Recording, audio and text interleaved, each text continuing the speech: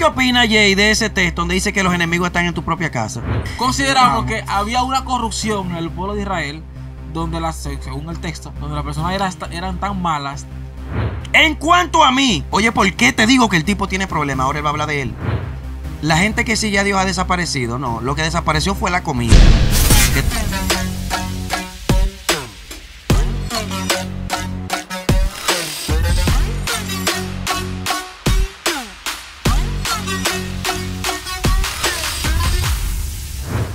Estamos en Alaba, vivo. alaba. ¡Ey! estamos en vivo.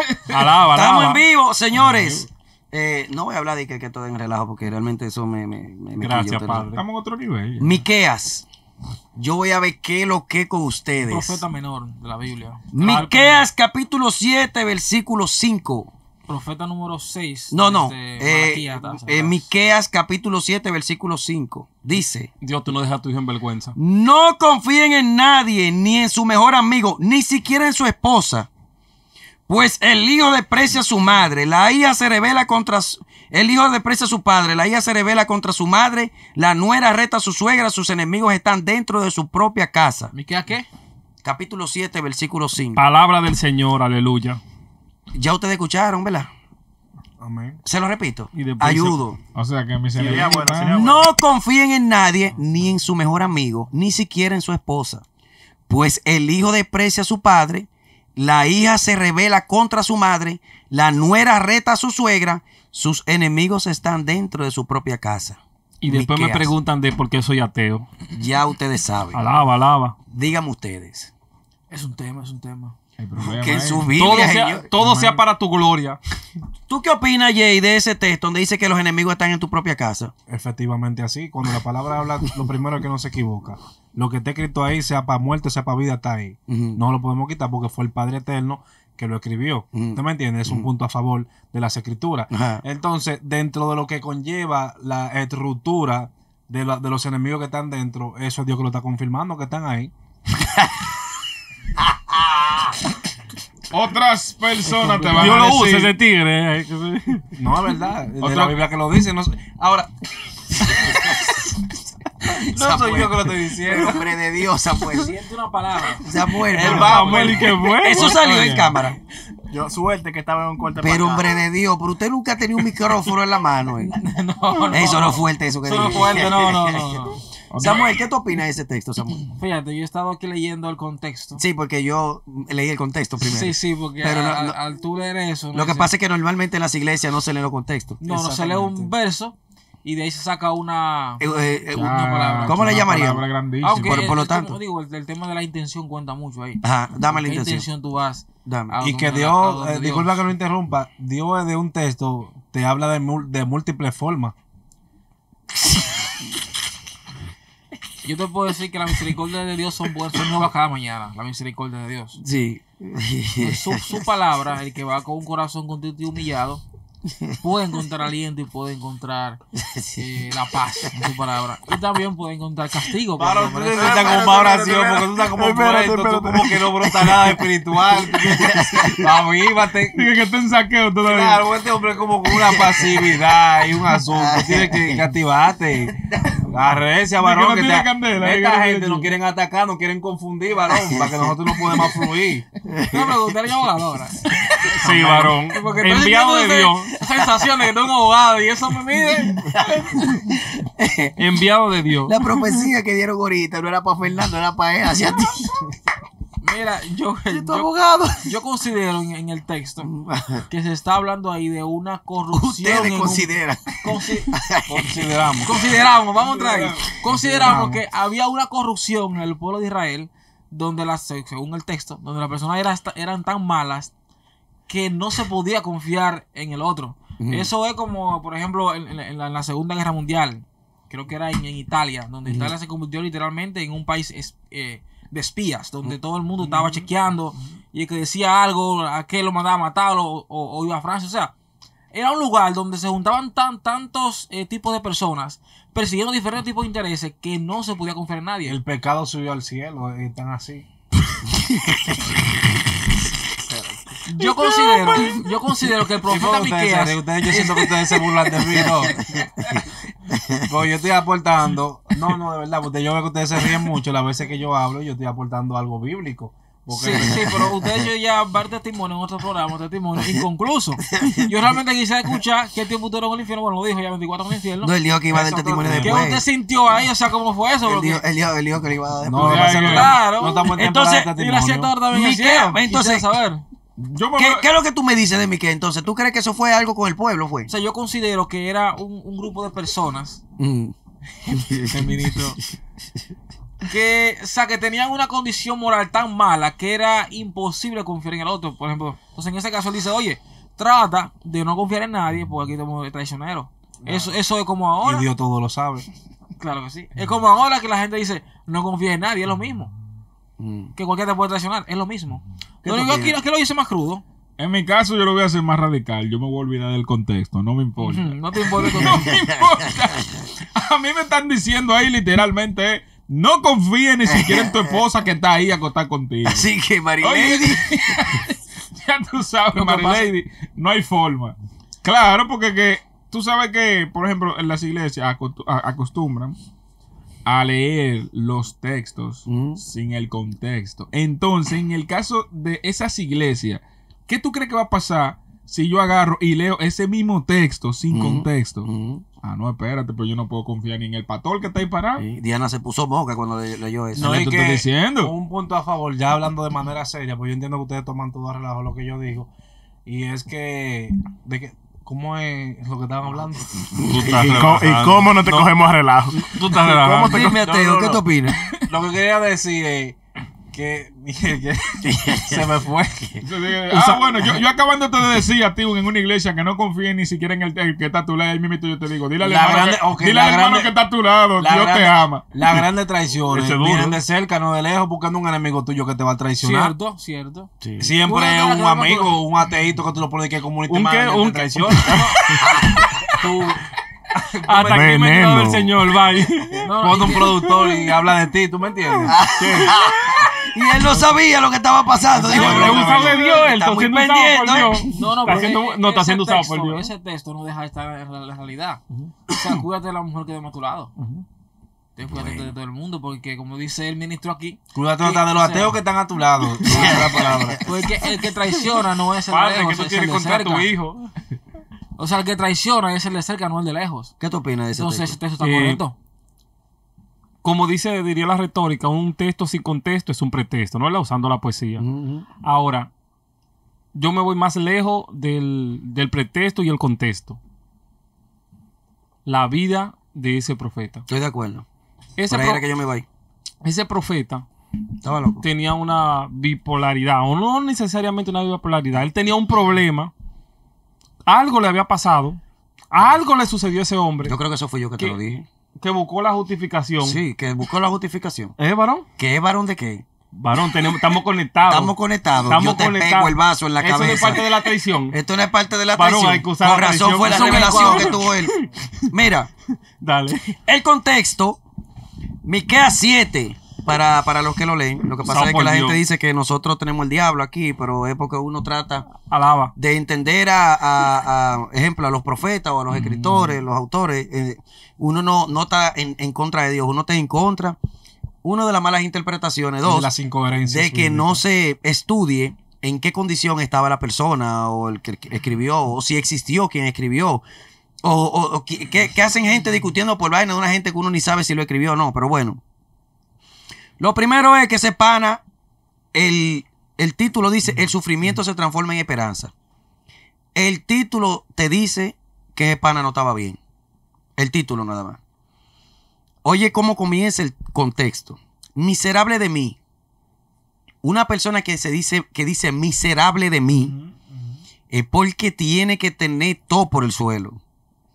Me siento como un recolector de fruta después de, cose- de- de cosechar. No encuentro nada para comer. No encuentro ni un racimo de uva, ni uno de los primeros espigos, de, de los primeros higos para saciar mi hambre. Tenía hambre el pana. El pana no encontraba nada para comer. Alucinando.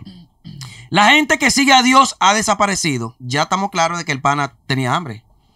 Estaba grave y se sentía tan miserable de él. El pana, al parecer, es un creyente eh, de los creyentes que cuando, o un profeta de esos que cuando eh, hay mucha bendición, el pana muy bonito, todo, la gloria y la unción, pero en ese momento estaba en un proceso.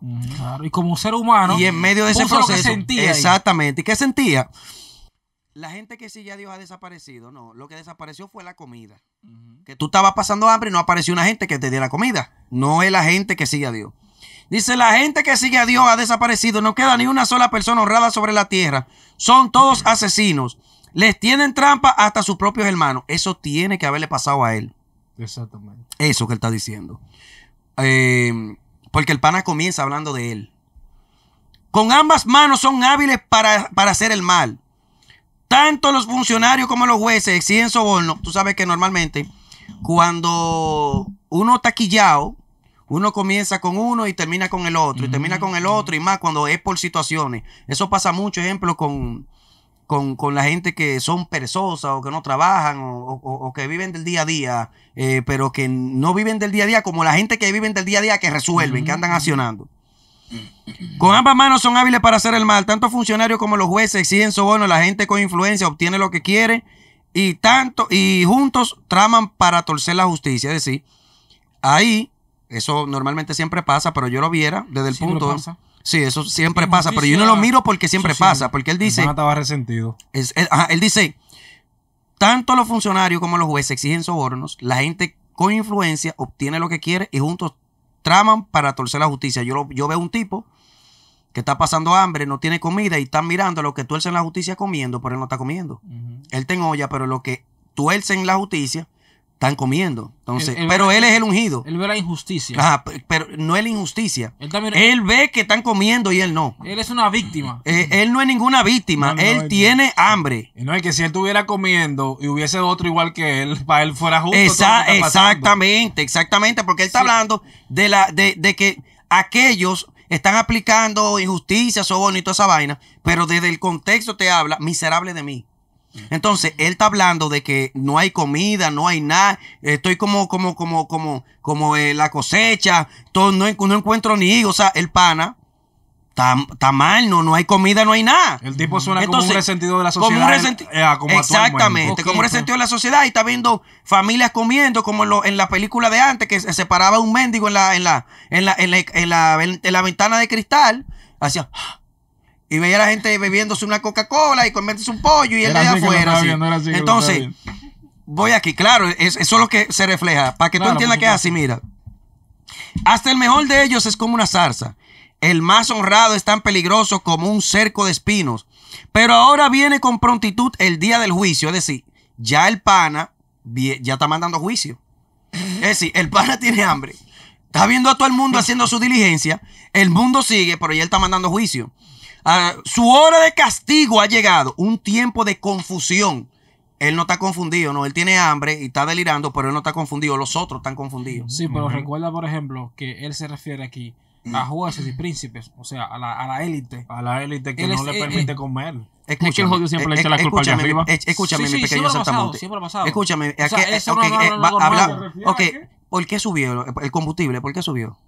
No tengo idea. Tú no tienes idea. experto Porque en la usted materia. tiene su cuarto y usted no tiene idea. Si fuese, un- si fuese cualquier persona en término medio, te dice, el Culpa del gobierno, gobierno. fulano, mengano. Exacto. Eso es, y punto. Es el mismo contexto. O sea, sigo. eso es O sea, que sigo. no desde ahora tenemos ese problema. Y este pana. No, entonces, entonces, oye la guayaba.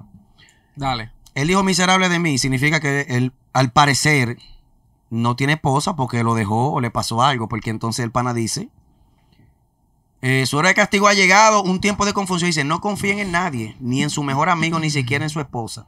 Parece que su mejor amigo yo o te- le dio a su esposa, Yo te podría decir Eh, que espérate, su mejor eso- amigo- Eso lo dice todo. o Sí, su mejor amigo o le dio a su esposa. O su mejor amigo, tú sabes que antes se podía, que, que, que, que los amigos podían dar, que, Sí, que pod- podían darle a la esposa de uno y dejársela, ¿no era? O al hermano, ¿no era? Eso fue. El hermano, el hermano. parece, no sé si fue que un amigo le dio a la esposa o fue que en el caso de él, un amigo le hizo cualquier vaina y la esposa se le viró algo, pero él dice, eh, no confíen en nadie, ni en su mejor, ni en su mejor amigo, ni siquiera en su esposa, porque oye, pues el hijo desprecia a su padre. ¿Y por qué no mencionó a la madre de primero? El hijo desprecia a su padre, parece que si él tenía hijo, cuando viene a ver el hijo, se fue para el bando de la mamá.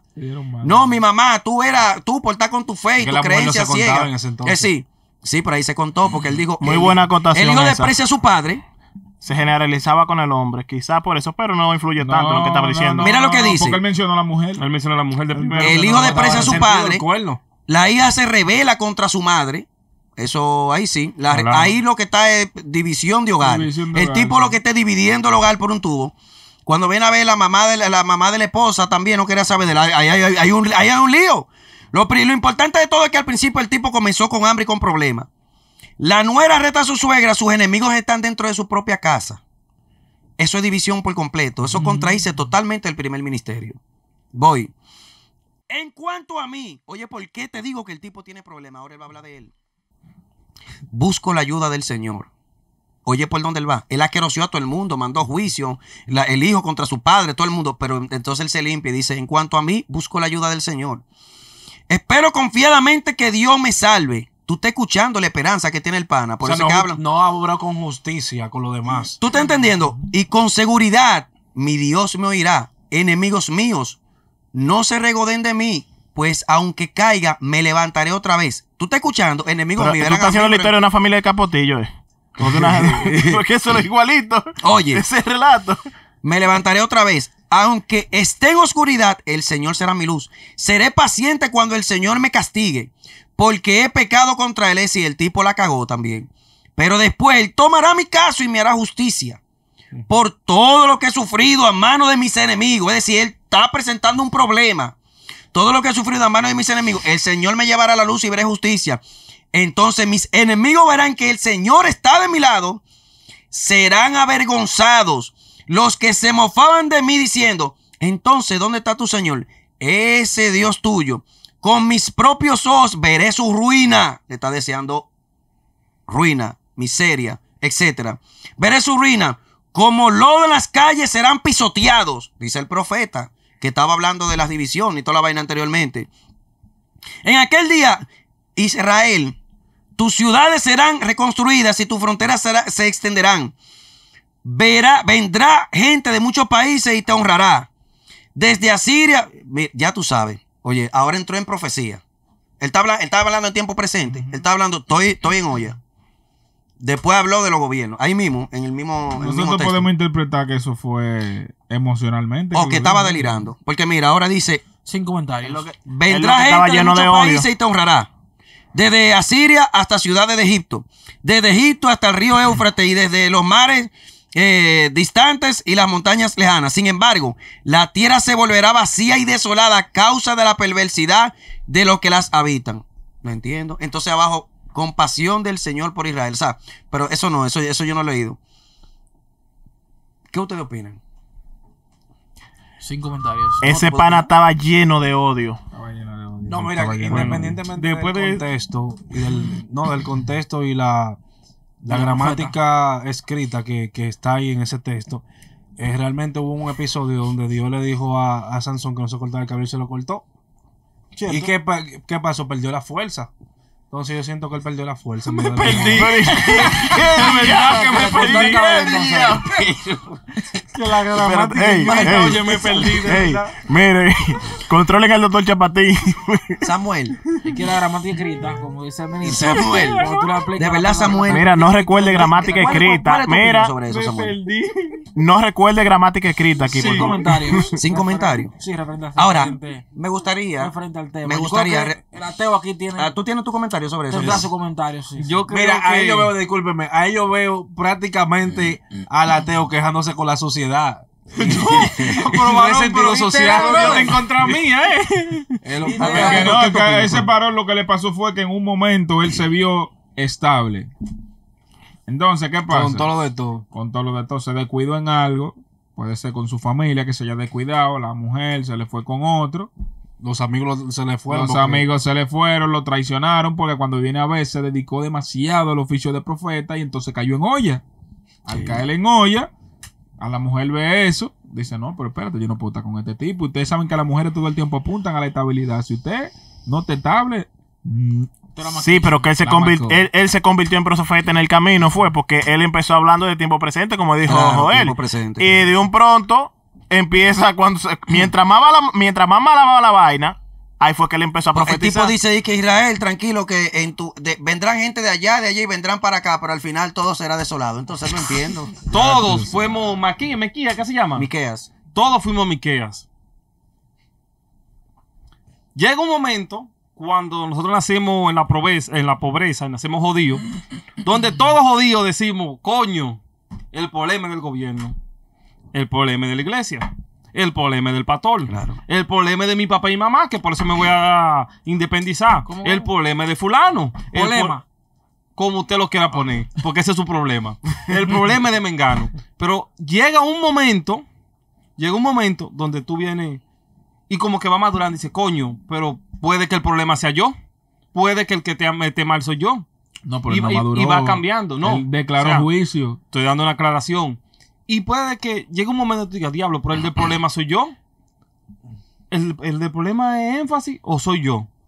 El villano es énfasis que está abusando de mí. Me está abusando, me está atropellando. Pero llega un Tú momento. le estás dando un metamensaje. Espérate. No, yo- me- Ya, es un metamensaje. espérate, porque el meta, me va a dejar que el meta Y esa, y esa conspiración. Sentí, sentí algo sublime. Sentí algo sublime en ese mensaje. No, no. Ahora, yo voy, a Pero poner, puede. yo voy a poner una cosa más bacana. Ah, dale, imagínense, imagínense que se para el en ese momento. Ah, ok. No, no, continúalo, continúalo, continúalo. Estaba el- interesante. Y puede que el del problema resulte que sea yo. Yo siempre le estoy culpando al jefe. Porque como el jefe es el jefe y el jefe que toma la Ah, decisión. acá no, el- pero. Es un- el es del un- problema es es un el jefe. Pero llega un momento donde, donde, donde, donde quizá un día se te llega el de tu y dices, coño, pero el del problema no es el jefe. El del problema eres tú que crees que la vida es fácil. El del problema eres tú que crees que la vida es vaina cómoda. O sea, el jefe. Mequía llegó su momento donde pensó, ¡Ey, ey, un aplauso para Teo! Véalo, véalo. yo me gusta. Que yo se me va gusta. Palomo, la teo, no palomo. ¿Fue por experiencia propia o un amigo tuyo le pasó? ¿Qué fue? Dios trajo ese versículo aquí para mí, para edificarme. Ok. Que es palabra de Dios. Dios sabe lo que hace. Señores, Teo me gusta, Ahora, pues, imaginen ustedes que en ese momento, en ese momento de crisis, ese pana, él en el, en el medio, en el medio de la conversación, de maldiciendo a todo el mundo y profeti- profe- profetizando vaina mala, llega un pan le haga así, vea, una, en ese tiempo, una bolsita de oro, te se quieto. ¿Cómo usted cree que hubiese reaccionado? No, cuando viene Hubiese ahorita, estado ahorita escrito. dicen los cielos que, que él le hubiese dicho que no, el Señor siempre lo podrá. Sí, sí. Señores, y no, y como quiera, también tú sabes que en los tiempos de Hubiera antes. escrito arcoíris, unicornio. No, no, en Hubiera los tiempos de antes, a mí no me sorprendería que un profeta te rechace un castillo de oro. Porque Ah, en los bueno, tiempos de sí, antes sí. No era con adivinanza como ahora. Di que, No, que Dios di que, te- di que, di que, que una gente di que, que le dio teriquito y ya dijo Dios me habló. Ahora mismo tengo un sentir, ya, ya dije que por un sentir ya dije que Dios que qué. No, eh, la brisa, la hoja se movió, eso es el Señor, el Espíritu Santo está aquí. Ahora todo el Señor está aquí. Antes no. Antes yo te decía, Francis, mueve la TM, Francis. A la clara. Te decía, Francis, dile a la mujer tuya que se suba la falda, eh, eh, brinque la tablita, 4 más 4, 3 más 3, 5, 5, y te montaba la que hay. La señal, la Era señal. era- era antes no era igual que ahora, que ahora que- mismo hay que adivinar mentalmente, hay que forzar la mente hasta para la creencia. ¿Tú me estás entendiendo? Antes Dios agarraba y te decía a ti, Samuel, el negocio se te va a dar, tranquilo, no te compliques. ¿Y tú sabes lo que uno hacía? Yo lo creo. A Y uno se acostaba. Porque uno decía, bueno, ya Dios me habló y si Dios me dijo que Mata- dame seguir con la eh, familia, Dani, tranquilo y vaina. sacrifica a tu hijo. No, y, él- y no. Ah, Así di- debe dirían, ser. no, Dios lo hace igual ahora mismo. No.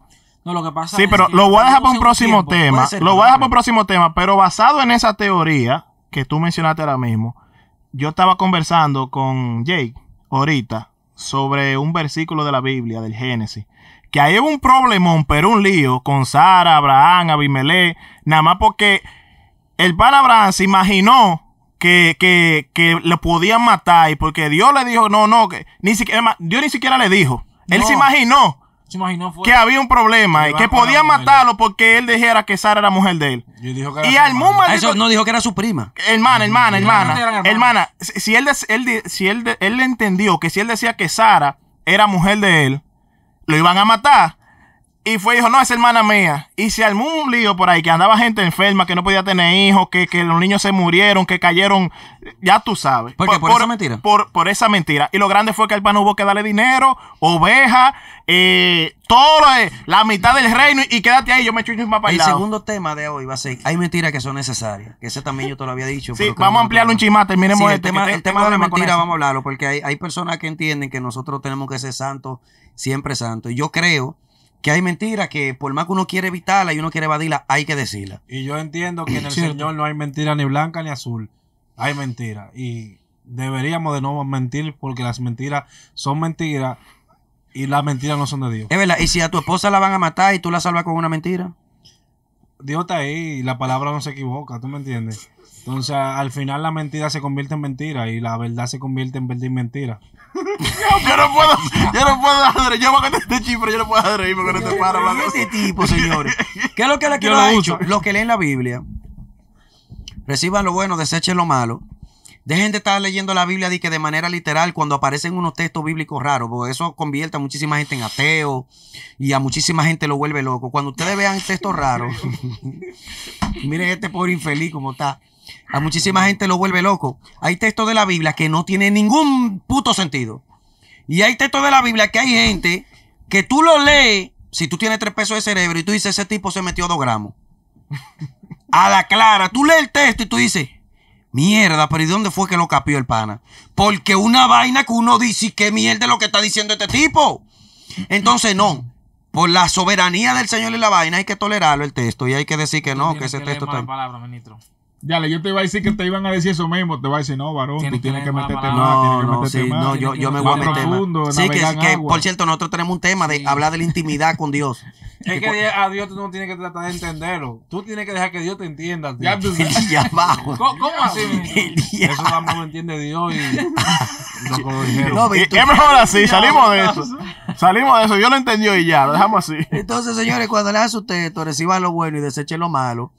Eh, eh, yo te, hay uno del grupo que vino aquí con un texto que, que, que Jesús dijo, yo no vine a traer paz, yo lo que vine a traer división y problema y vaina.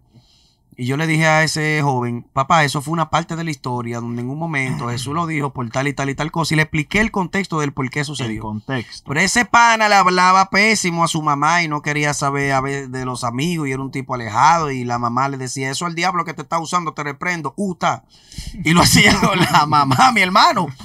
Y yo, mi hermano, pero ¿y cómo usted trata a su mamá así? No, mi hermano, con un espíritu que se está levantando en su contra. Y digo, mi hermano. Y yo estoy de acuerdo. Porque la palabra lo dijo cuando comenzamos el debate. Decía que se levantarán tus madres, tu padre, el primo, tu esposa. Ya tú sabes. Y todo por la fe. Hay que seguir hacia adelante arreciando contra el pecado. Porque la gente no, No, quiere mira. entender que esto viene de mal en peor. Y, y dicen en Romanos 7:14: Y vendrán peores cosas que la mayor. That's it. Señores, La unción. esto fue de en el agua. Literal.